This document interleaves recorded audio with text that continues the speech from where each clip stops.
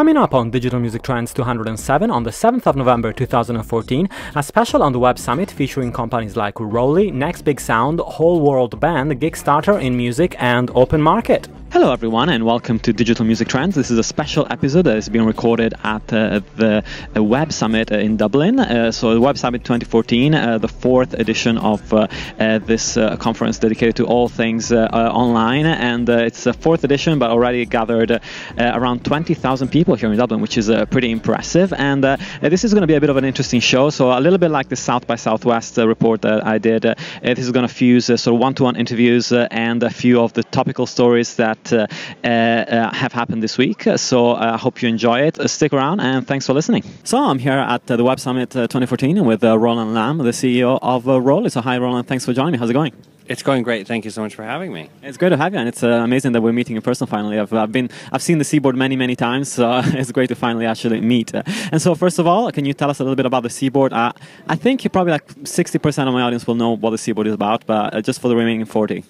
Right. So basically, the Seaboard is a new musical instrument that's based on the piano keyboard, um, and you can play it just like a piano. But then you can also modulate the timbre and the pitch of each note in a very intuitive way, just using natural gestures. So if you want to create a vibrato, you just sort of shake your hand on the keys. Except the keys aren't like piano keys. It's this soft wave-like silicon surface um, that is uh, feels. Uh, very different from a piano, even though you can use piano technique on the Seaboard. Awesome. And uh, it struck me, uh, you mentioned earlier in your presentation here that uh, uh you sort of didn't have a technical background and sort of had this um, amazing idea and decided to build it. So uh, that's, I think that's encouraging to people that have amazing ideas that are from a non-technical background. Because uh, a lot of the times you hear engineers say, you know, it's so much easier if you're an engineer, you, you know, you go and build a company. But, you know, in your case, that wasn't, that wasn't true.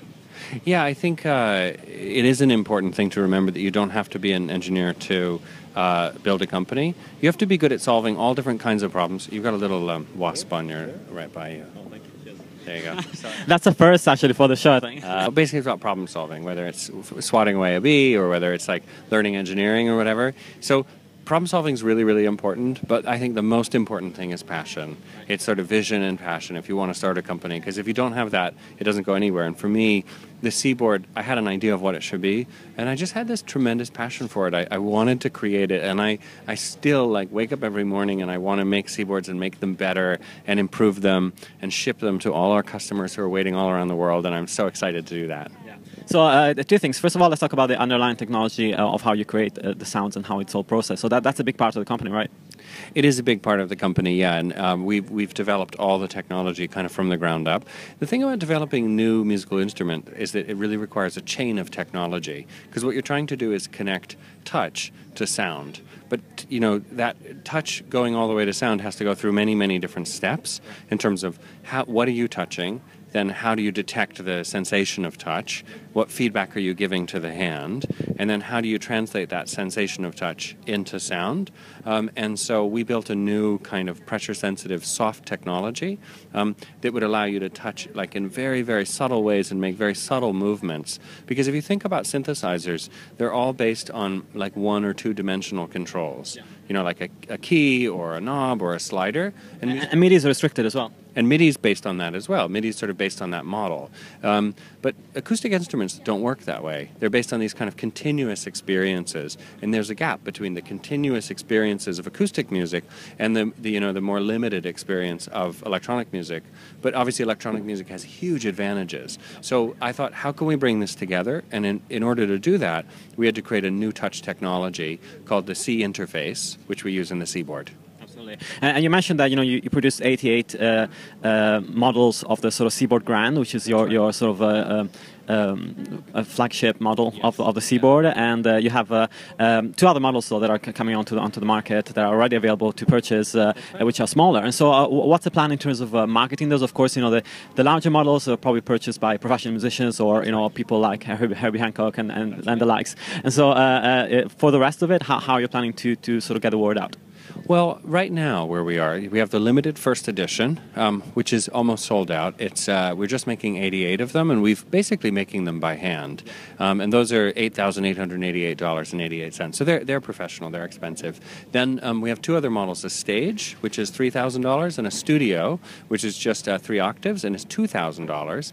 And those products um, are now starting to ship, but we still have a huge waiting list. So we're really actually just focused on shipping to people who have been waiting for a very, very long time. Um, once we've uh, like cleared that backlog and got Seaboards out to everyone, then we will begin to think more about the sales and the marketing and ramping that up. But the nice thing about the Seaboard is it's kind of a story that tells itself because musicians just love using the Seaboard, and because they love it, they use it on stage and they talk about it. And um, you know, I think there's ways that we can help to get those stories out, but that's more important to us than you know maybe taking out like ads on buses. Yeah, exactly. And I guess like you know, uh, up until now, you've created most of your sample banks and sort of the sounds uh, yourselves. And so uh, going forward, do you think that you'll you, you start collaborating with uh, people that are, are creating sample banks and sort of uh, creating sort of the necessary tools to actually implement the functionality of the Seaboard. Absolutely, yeah, we're, we're extremely you know committed to that. We've actually developed a, a interesting small application called Polythrough, which many of your uh, more technical um, listeners will know the need for, an audience will know the need for, because basically. Um, with the Seaboard, you know, as you said, MIDI doesn't really give you enough capacity. So often with these kind of multi-dimensional instruments, you need to set up many channels of MIDI to send all that data through. But um, that creates sort of painful workarounds within a lot of the different um, DAWs that people use.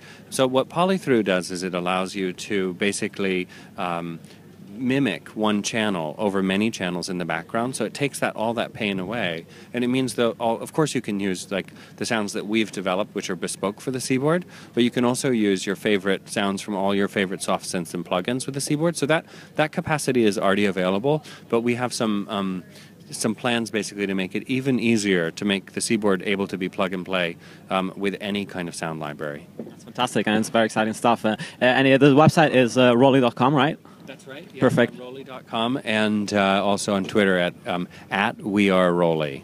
So Perfect. I hope everyone come check it out, and it's really nice to talk to you today. Absolutely, and I would thoroughly recommend it. I've tried it several times, and it's uh, it's really good fun, especially if you do play the piano. It's uh, it's quite fun to, to play with. Thanks so much, Roland, for your time. And so uh, our series of interviews at uh, the Web Summit 2014 continues, and I'm here with Alex White, the CEO of Next Big Sound. So hi, Alex, and thanks for joining me. How's it going?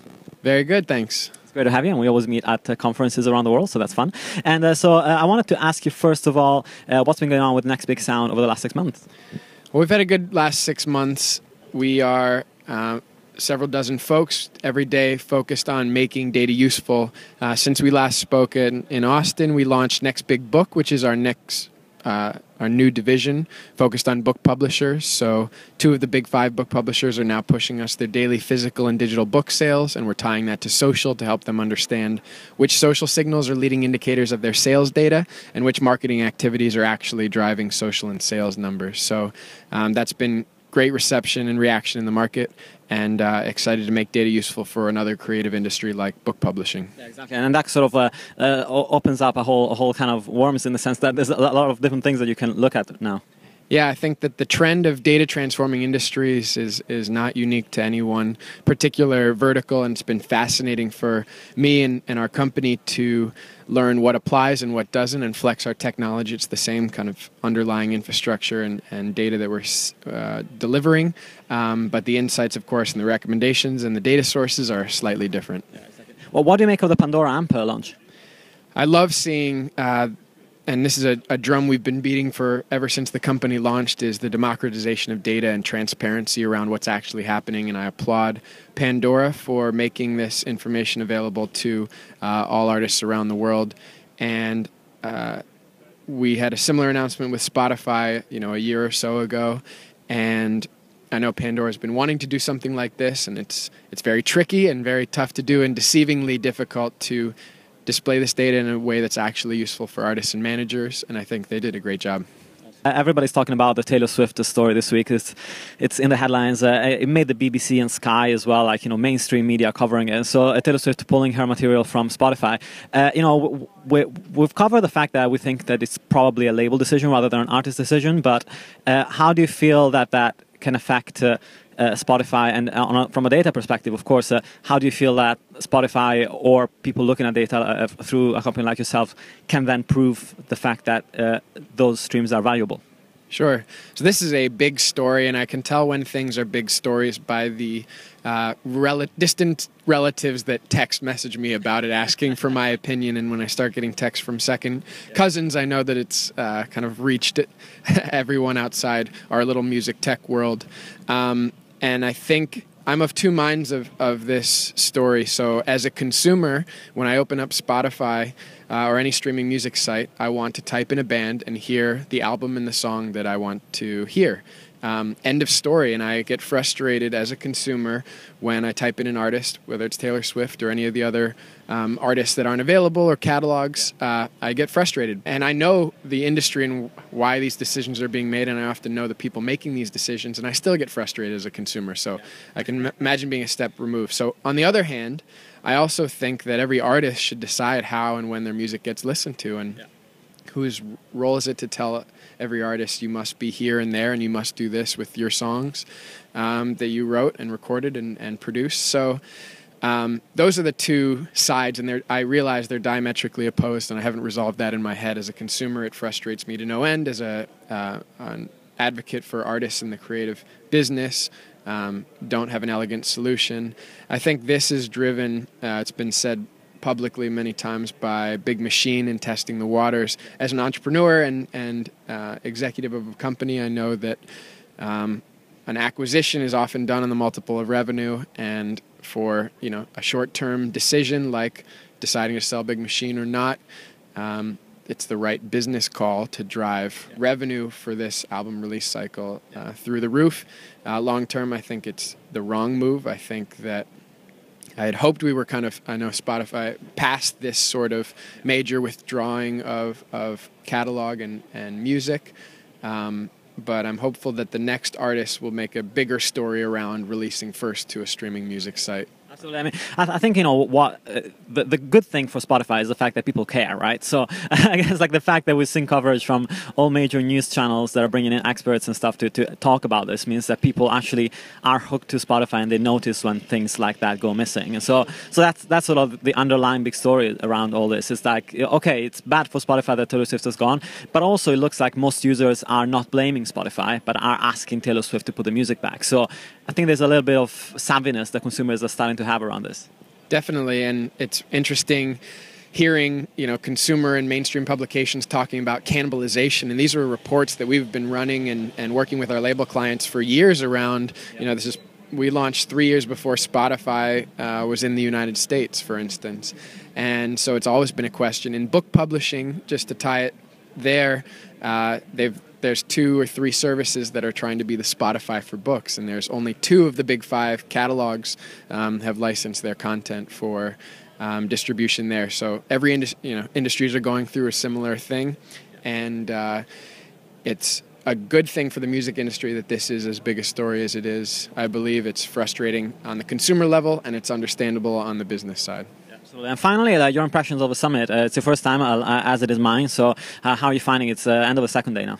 Yeah, so I just arrived this morning, first time in Dublin, first time in Ireland. I had a great uh, few meetings already and overwhelmed with the quality of attendees and the sheer size of this event. So we had lunch at the Food Summit, which is a separate uh, but attached summit, and just the flow of human beings in and out of that building was an operation in and of itself of hey you enter here and how do we feed you know 10 20000 people uh, in a quick and, and uh, efficient way. And all from different providers as well. Like it was food coming from all, all parts of Ireland. So that was the most impressive thing to me. Like, how do you coordinate all this? there was gl- gluten-free cookies and locally grown everything, and you would think at at something of this size and magnitude, they would just kind of cookie cutter something out. But uh, great attention to detail and and excited to be here for the next couple days. Go and check out uh, Next Big Sound. I'm sure you all know about it if you're listening to the MT. Uh, at least you should. And uh, also, if you are in the book industry at all, or if you also write books as well as write music, you should check out Next Big Book uh, on nextbigbook.com. Yep. Perfect. I'm here with uh, Stephen Brett from the company InMusik. So, hi, Stephen. Thanks for joining me. How's it going? Going good. Enjoying it so far. Yeah. So first of all, start with let's start with InMusik. Uh, so uh, you guys changed uh, your name, so it's a it's a rebrand of a company. It's a new company essentially. Uh, so can you tell us a little bit about what InMusik does? Yeah, sure. So the idea being is you get every single musician on the platform gets their own website, uh, so it can replace their traditional style website. So they can have their videos, their music, their albums, and of course they can sell directly to their fans. But the uh, the idea and the uniqueness of it is because those websites are all connected to the same network. Fans can come in and kind of travel through each of those websites, collecting the music they love as they go. And I think what fans really, really want when they find artists that they they really love, they want to connect directly with them, and that's the beauty. They can follow artists directly through the platform they can keep up to date with their news feeds, new content that's being uploaded, and plus because it's a you're following other people's collections as well. When say if I know you're a, a great um, uh, you have great taste in the rock genre, I can follow your rock collection. So when you find a really cool new song, I find a really cool new song. So that's the kind of the concept of it, and that's why we've, we've kind of decided to change from the the older name and rebrand with something that we thought was a little bit more in keeping with what we do in music. Yeah, and of course, if you if you uh, think you recognize uh, Stephen, it's because uh, yeah, did an interview with them a few months ago, uh, and the company was called Emerus back then. And so, what's the roadmap in terms of uh, you know uh, acquiring users or sort of pitching the company to people? What, what are your priorities right now? Right now, it's really product and looking after our customer base. We've we've already got like 300,000 users, so it's you know we've got a, quite a lot of people on the platform already. Um, it's really to make sure that their needs are 100% uh, and, and met, so they're all happy. And I think from there we'll organically grow a bit more. We've built in a couple of little tools that help artists to to uh, I suppose extend their reach in terms of networks. So a thing called musician tagging. So because I'm a music producer and a, and a guitarist and drummer myself, so when I'm uploading one of my songs, I can tag say the session singer, I can tag the recording studio studio and the T Boy if I wanted to.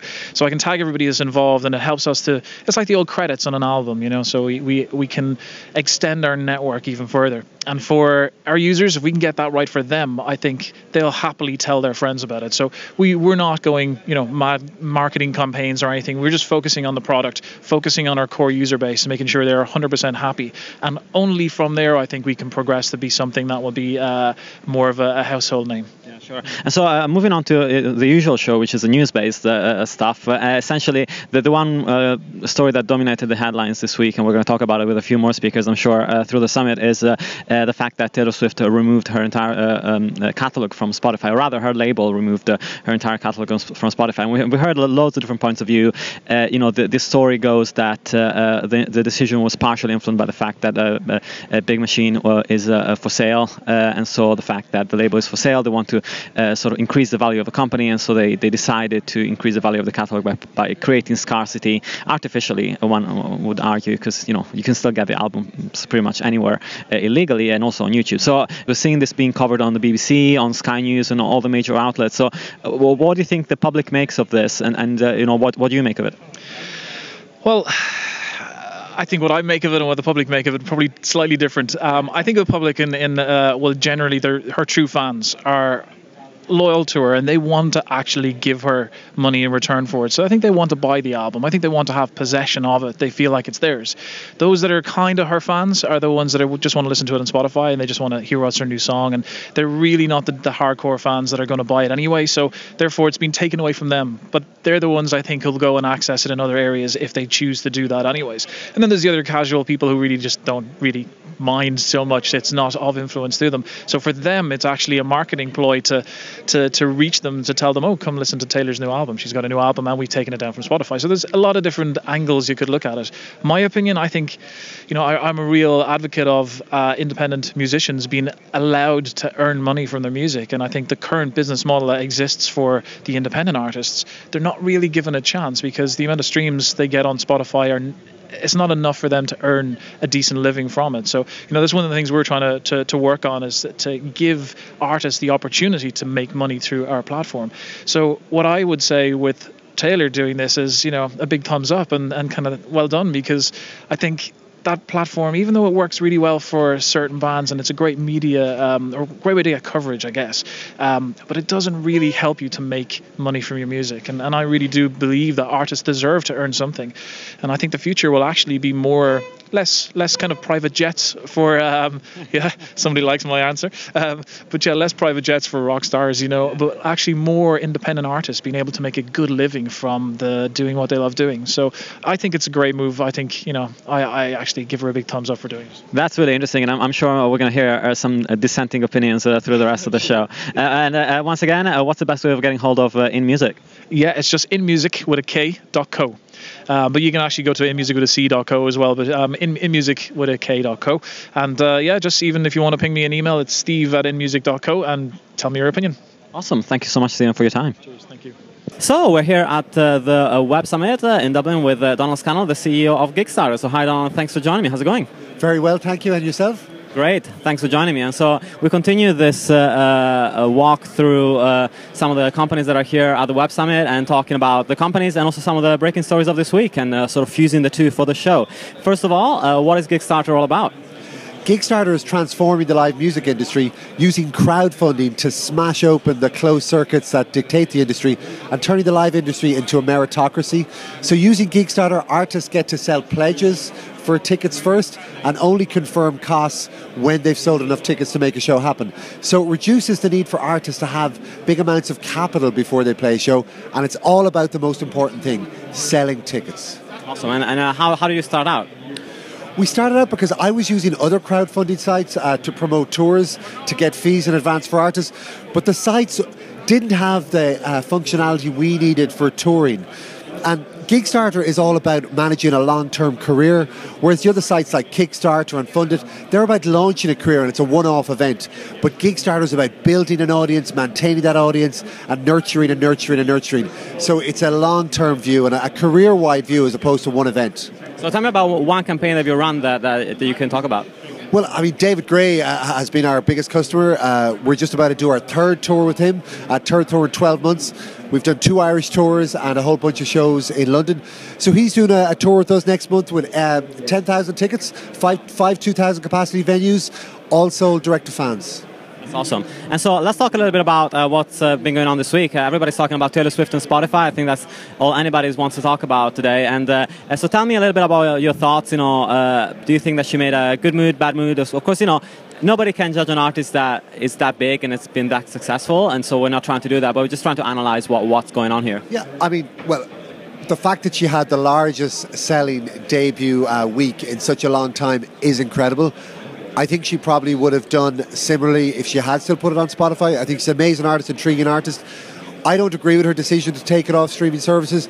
Maybe she could have windowed it, but for me, streaming services are a very democratic way for people to access music and a great discovery tool for music. And for me, streaming services fit in the same part of the supply chain as music. Now, the problem the live music industry has is that it hasn't replaced the CD, it hasn't replaced the purchasable format. And that's not really Spotify's problem or the streaming other streaming services problem. They're doing a very good need. I think the other problem Spotify face though is they're so highly leveraged that they're going to have difficulty surviving in the long term. I think. I think streaming uh, is with us to stay. I think Taylor made a mistake.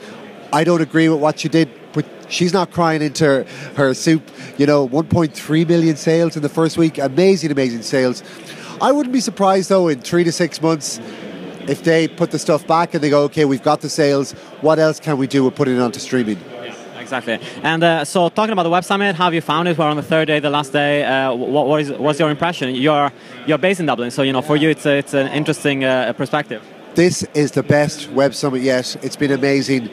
They've almost doubled the attendance from last year, but it's more than twice as good. There's so much more space this year, and there's so much to do, and it's so relaxed, and people just love coming here.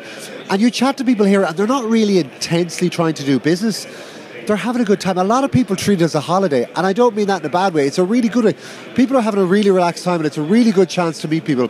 The new app they introduced this year, arrange you to set up meetings, that's been really, really phenomenal. And I've arranged some really great meetings for that, it's been really, really cool. I don't see the Web Summit getting any smaller because the bigger it gets, the easier it is to attract new features, attract new people, and it's a phenomenon. My only complaint is that it's in Dublin and my life has to, the rest of my life has to continue in the Summit Croissant. I wish I was one of these people who got to visit the Summit in another city and didn't have to do anything else except the Summit. Yeah, absolutely. It's always hard when there's a conference in your town because you don't feel like you're actually there. Oh. But yeah, yeah, I, I, I, get that. Although in London we don't have that many conferences, so that I don't have that problem that often. Uh, uh, thanks so much. And uh, uh if uh, there were managers or people that uh, were interested in Gigstarter, what, what's the best way to find out more about the company? Well, go to Gigstarter.com, check out our explainer video, and uh, email us for beta access, and we'd be more than happy to talk to you. Perfect. So it's Gigstarter.com. Thanks so much, Donal, for your time. So I'm here with uh, Kevin Godley, the CEO of Whole World Band. So hi, Kevin. Thanks for joining me. How's it going? It's going real well.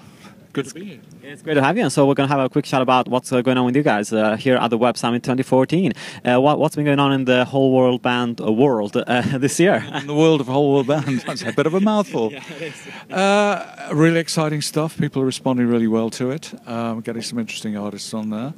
It's it's it's tapping into something to do with the 21st century. I think people are a little bit bored with the way music is distributed these days because all that's happened is there's streaming, there is CDs, and there is downloading, but essentially you're still consuming music. What we do is allow you to take part in the creative process of making music, both in audio and in video.